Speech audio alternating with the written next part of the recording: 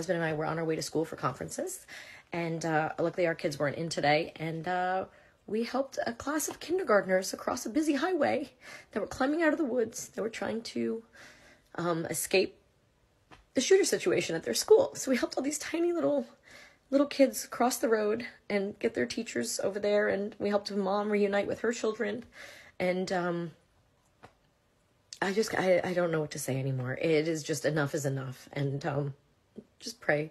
Pray for the families.